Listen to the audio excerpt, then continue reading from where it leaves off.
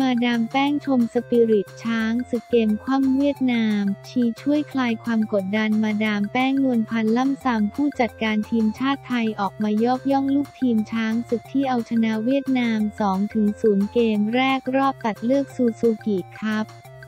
ชี้เป็นปลดล็อกความกดดันของทุกคน มาดามแป้งนวลพันธ์ล่ำซำผู้จัดการทีมชาติไทยชี้เกมที่ช้างศึกเอาชนะทีมชาติเวียดนาม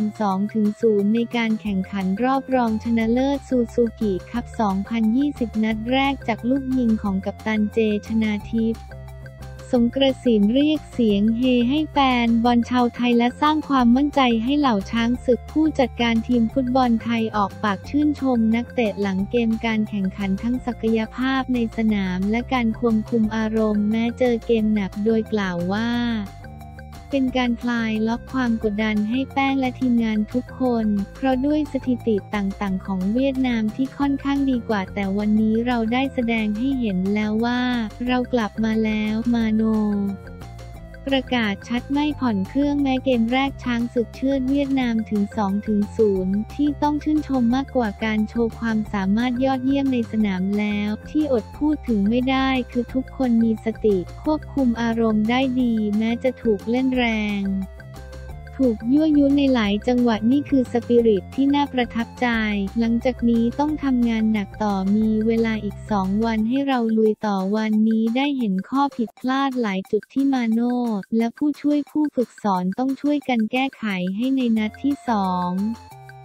เราทำได้ดีกว่านี้ ขอบคุณแฟนบอลทุกคนทั้งในสนามแข่งขัน และคนไทยทางบ้านที่ส่งกำลังใจมาให้ทีมชาติไทยอย่างต่อเนื่อง เชียร์เราต่อไปสำหรับทีมชาติไทยจะลงแข่งขันในรอบรองชนะเลิศนัดที่ 2 ในวันที่ 26ธันวาคม 2564 เวลา 19 นาฬิกา 30 นาที ที่สนามกีฬาแห่งชาติสิงคโปร์ถ่ายทอดสดช่อง 7 HD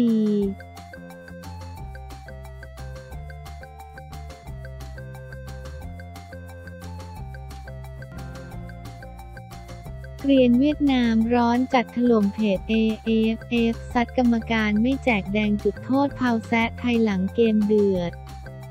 เกรียนเวียดนามร้อนจัดบุกถล่มเพจ AAF ซูซูกิคับซัดกรรมการเป่าแย่ไม่แจกใบแดงจุดโทษพาลแซะไทยควันหลงหลังเกมฟุตบอลชิงแชมป์อาเซียน AFF ซูซูกิคัพ2020 ระหว่าง ช้างศึกทีมชาติไทยลงสนามรอบรองชนะเลิศนัดแรกที่เนชั่นแนลสเตเดียมประเทศสิงคโปร์เมื่อวันที่ 23 ธันวาคม พบกับดาวทอง ทีมชาติเวียดนามเจ้าของแชมป์เก่าฟุตบอลรายการนี้ ซึ่งเป็นทีมชาติไทยที่สามารถเอาชนะไปได้ 2-0 จากการเหมายิงคนเดียว 2 ประตูของชนาธิปสรงกระสินธ์กัปตันทีมกลุ่มความได้เปรียบไว้ก่อนเจอกันนัดที่ 2 วันที่ 26 ธันวาคม อย่างไรก็ตามหลังเกมปรากฏว่าแฟนบอลชาวเวียดนามจำนวนมาก เข้าไปแสดงความคิดเห็นวิพากษ์วิจารณ์ ผู้ตัดสินในเกมอย่างดุเดือด และพาดพิงลามถึงทีมชาติไทยในเพจ AFF ซูซูกิครับโดยส่วนมากตั้งคำถามถึงจังหวะการทำฟาว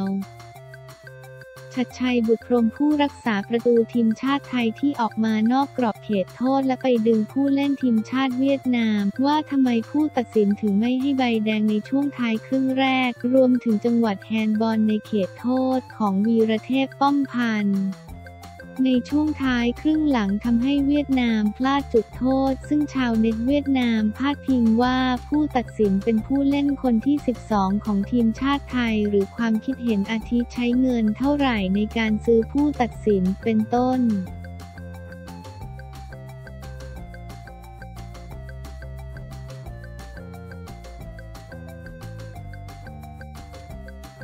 กวินขอซิลแชมป์ซูซูกิครับเป็นกำลังใจให้คุณพ่อต่อสู้กับโรคร้าย กวินธรรมสัจจานันในด่านทีมชาติไทยเผยถึงการกลับร่วมทาบช้างศึกเพราะต้องการช่วยทีมชาติไทยคว้าแชมป์ซูซูกิครับ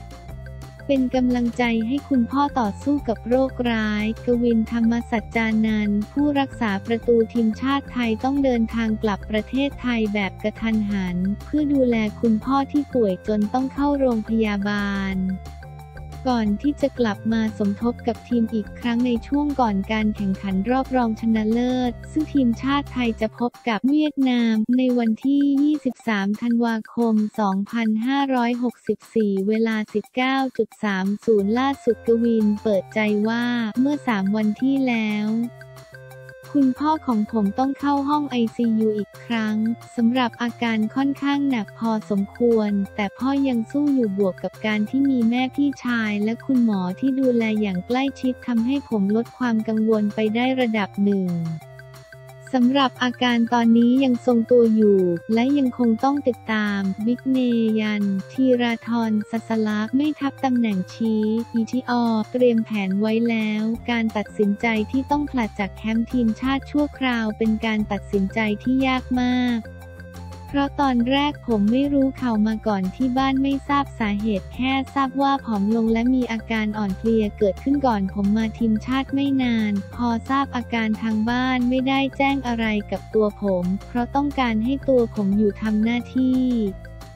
และมีสมาธิกับการมาเล่นทีมชาติ พอเวลาผ่านไปผลตรวจออกมาตอนนั้น ผมอยู่ทีมชาติมา 2-3 วัน และอาการคุณพ่อไม่ค่อยดีทำให้พี่ชายตัดสินใจบอกผมว่าพ่อมีอาการหนักมาก และสุดลงพี่ชายกับแม่ให้ผมตัดสินใจ ซึ่งไม่มีทางไหนผิดทางไหนถูก เพราะเขาอยากให้ทำผมทำหน้าที่ของตัวเอง ส่วนจะกลับไปดูพ่อหรือไม่เขาให้ผมให้ผมตัดสินใจเอง ช่วงเวลานั้นผมทราบว่าพ่ออาการหนักและเราคาดเดาอนาคตไม่ได้ ทำให้ผมปรึกษากับสตาฟโค้ชและผู้จัดการทีมเพื่อขอกลับไปดูแลคุณพ่อทุกคนอนุญาตให้ผมได้กลับไปช่วงแรกที่ผมกลับไปเรายังเยี่ยมได้ประมาณ 10 วันจนถึง 2-3 วันก่อนต้องเข้า ICU ด้วยความตั้งใจของพ่อและแม่ เขาอยากให้เราทำหน้าที่ของเราเขาคิดว่าผมได้ดูแลพ่ออย่างเต็มที่แล้วทำให้เราเบาใจไปได้ส่วนหนึ่ง อยากขอบคุณทุกกำลังใจที่ส่งให้ผมและครอบครัว รวมถึงพ่อของผมเป็นเรื่องที่ลำบากใจ ผมคิดว่าถ้าผมเลือกไม่กลับไปผมคงกังวลว่าพ่อเป็นอย่างไรพอได้กลับไปและดูแลและเข้าใจอะไรมากขึ้น ผมทำใจไว้ระดับหนึ่งและเข้าใจชีวิตมากขึ้น การกลับมาทีมชาติอีกครั้ง ผมกลับมาด้วยความกระหาย นี่คือหน้าที่ของเราและความภาคภูมิใจในการรับใช้ชาติผมอยากอยู่ในจุดนี้ขอบคุณทุกกำลังใจที่มีให้ผมและครอบครัว ผมหวังว่าผมจะได้แชมป์ซูซูกิครับครั้งนี้ให้กับพ่อเพื่อให้พ่อมีกำลังใจมากขึ้น สำหรับทีมชาติไทยจะพบกับทีมชาติเวียดนามในรอบรองชนะเลิศของศึกชิงแชมป์อาเซียน โดยนัดแรกจะแข่งขันในวันที่ 23 ธันวาคม 2564 และนัดที่ 2 จะแข่งขันในวันที่ 26 ธันวาคม 2564 โดยทุกนัดถ่ายทอดสดทาง CS7 HD และ AIS Play